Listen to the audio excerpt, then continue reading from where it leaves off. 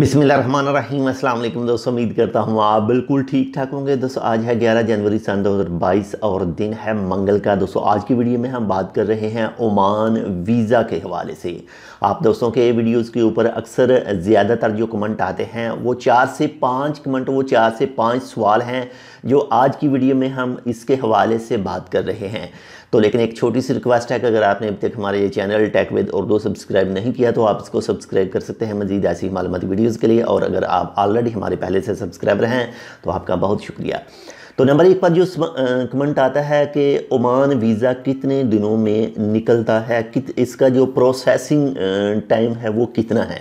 تو نارملی طور پر جو ویزا ہے عمان ویزا وہ ایک دن میں بھی نکل آتا ہے، دس دن بھی لگتے ہیں اس میں، لیکن میکسیمم آپ ٹائم پکڑیں ایک دن سے لے کر پندرہ دن تک۔ اگر کمپنی کی آپ نے جس سے بھی ویزا لینا ہے، اس کی کمپنی جو بھی ہے، وہ بالکل اس کے پیپر وغیرہ، ہر چیز بالکل اوکے ہے۔ تو میکسیمم ون ڈے سے لے کر پندرہ ڈے تک آپ کا ویزا نکل آتا ہے۔ لیکن جو ایجنٹ ہیں، وہ آپ کو دھوکہ بھی دے سکتے ہیں۔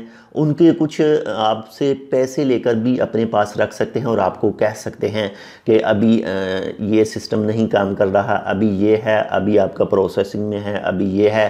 لیکن ہر چیز کلیئر ہو، بالکل ٹھیک ٹھاک ہو، تو ایک دن سے لے کر پندرہ دن تک عمان کا ویزا نکل آتا ہے اور پندرہ دن بھی اس لیے میں جو موجودہ صورتحال ہے، تو اس کی وجہ سے پندرہ دن کا ٹائم میں آپ کو بتا رہا ہوں لیکن اس وبا سے پہلے جو ٹائم تھا، وہ ایک دن سے لے کر پانچ دن کے اندر اندر ویزا نکل آتا تھا۔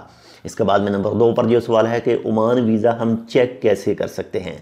تو اگر آپ نے پیپر ڈاکومنٹ وغیرہ اپنے ایجنٹ کو دیے ہیں، اپنے سپونسر کو، دوست کو، کسی کو بھی۔ تو جب تک آپ کے پاس ویب اپلیکیشن نمبر نہیں ہوگا، تو تب تک آپ اپنا ویزا چیک نہیں کر سکتے۔ یعنی ویب اپلیکیشن نمبر آپ کے پاس ہوگا تو آپ نے اپنا پاسپورٹ نمبر اور ویب اپلیکیشن نمبر، یہ رائل عمان پولیس کی ویب سائٹ پر ایک ویزا چیک کرنے کے حوالے سے ایک ونڈو کھولے گی، اس کے اوپر آپ نے انٹر کرنا ہے تو تب آپ چیک کر سکتے ہیں کہ آپ کا ویزا اپروو ہو چکا ہے یا پھر ابھی پینڈنگ پر ہے یا پھر ریجیکٹ ہو چکا ہے۔ جو ویب اپلیکیشن نمبر ہے آپ کا جو بھی ایجنٹ ہوگا یا آپ نے خود اپلائی کیا ہے کسی طرح سے بھی، تو آپ کو جیسے ہی آپ آن لائن اپلائی کریں گے تو آپ کو ایک ویب اپلیکیشن نمبر ملے گا، تو اس کے اوپر آپ چیک کر سکتے ہیں، اس کے ذریعے چیک کر سکتے ہیں۔ اس کی تفصیلی ویڈیو چینل پر موجود ہے، آپ وہ بھی دیکھ سکتے ہیں۔ اس کے بعد میں نمبر تین پر کہ عمان ویزا حاصل کرنے کے لیے جو ایج ہے، جو عمر ہے، وہ میکسیمم کتنی ہونی چاہیے؟ جو عمان حکومت کی طرف سے، رائل عمان پلیس کی طرف سے جو ایج بتائی ہے، وہ کتنی ہے؟ میں ورک ویزا کی بات کر رہا ہوں۔ تو ورک ویزا کے لیے آپ کی ایج اکیس سال ہونی چاہیے۔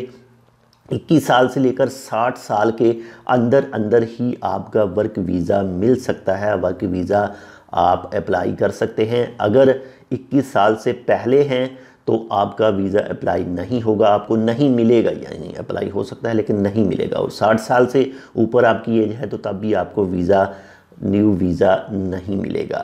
لیکن کچھ کیسوں میں ایسا ہے کہ اگر آپ کی جو عمر ہے وہ بیس سال اور آٹھ مہینے ہے، بیس سال اور دس مہینے ہے، تو کچھ واسطہ، کچھ یعنی ایسے ارباب سپانسر کمپنیاں ہیں جو آپ کو ویزا جو دے سکتی ہیں، لیکن ایک سے دو مہینے، ڈھائی مہینے آپ کو ویٹ کرنا پڑے گا۔ جیسے کہ آپ کی ایج ٹونٹی ون پوری ہو جائے گی تو آپ عمان کے اندر انٹر کر سکیں گے، انٹری کر سکیں گے۔